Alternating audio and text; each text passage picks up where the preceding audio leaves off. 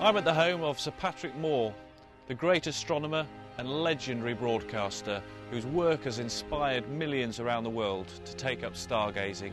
And I'm here today to ask for his views on the future of space exploration.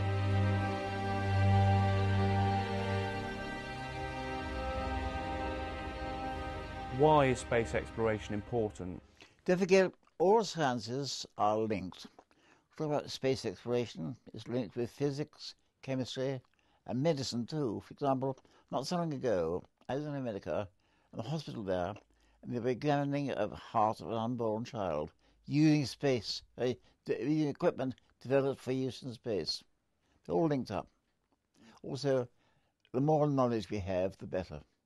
Do you think it's important that more people go into space to see if it will change the way people think about our planet?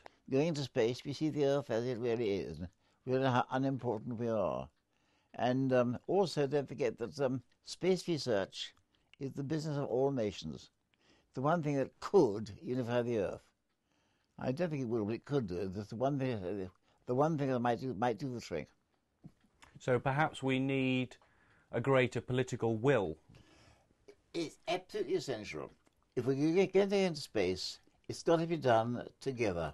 We're all pieces of the Earth, and it's got to be fully international. And that's where I think a, a lunar base would be a great help, because that's got to be international. We are a disunited planet, and we, nations have their own leaders, and uh, it all depends upon the quality of those leaders. And looking at the present leaders inspires me with a feeling of no confidence at all. What are your thoughts on private enterprise in terms of furthering space exploration through private company activities? Uh, space flight is going to become quite common. After all, think of the way now. Um, the South Pole, easy. But um, very difficult a hundred years ago. In a hundred years' time, going to, going to the moon may be just as easy as that. What, the cause of all alter the entire situation would be contact from another civilization, and there must be plenty up there. I mean, a hundred thousand million stars in our galaxy, and that's in one galaxy. They must be there. We can't cross interstellar space. There may be races that can. If they do and come here, all let us know we are then betting on an entirely different wicket. Psychologically, the impact that would have uh, is a fascinating thought, isn't well, it? People have said that it's, it's um, dangerous to make ourselves known. I don't agree.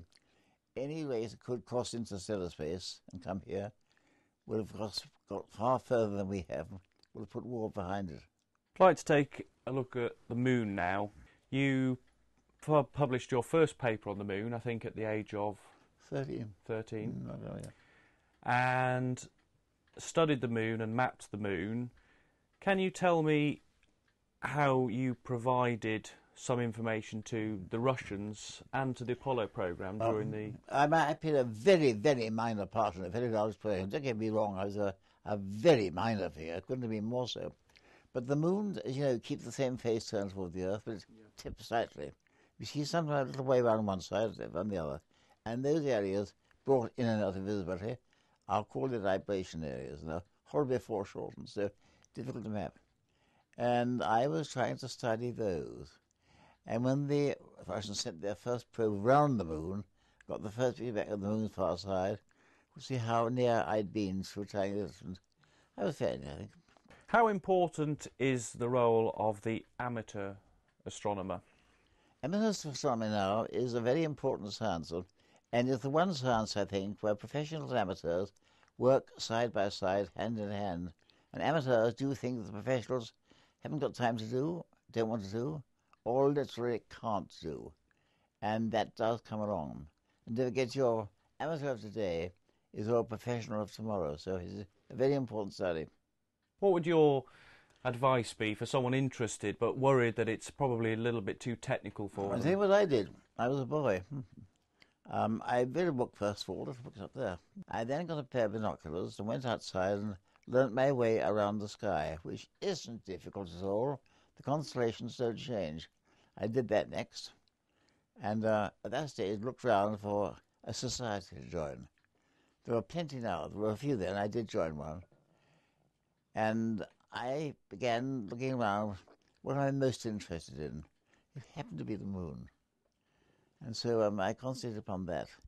I integrated, I did get, get, get got a telescope and got involved with moon mapping. So that's how I started. But I said, do some reading, learn your way around the sky, buy a pair of binoculars, see what you're most interested in, and then graduate to a telescope. You've spent a lifetime with your mind and your eyes on the moon. Do you ever have a regret about not physically s- stepping foot on the moon? I'd love to have gone there. I was the wrong age, the wrong nationality, not qualified. No chance at all, but I'm, I'm glad I played a very, very minor part in the lunar program.